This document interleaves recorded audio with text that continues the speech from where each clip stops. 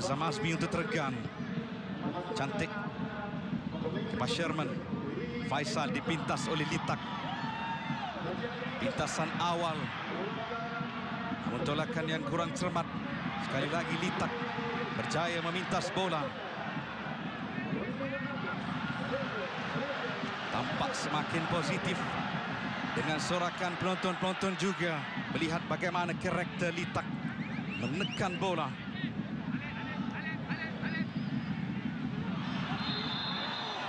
Dipersalahkan di situ Rodriguez. Perlu lebih mengawal emosi. Kalau dalam perlawanan seperti ini pastinya tekanan akan memuncak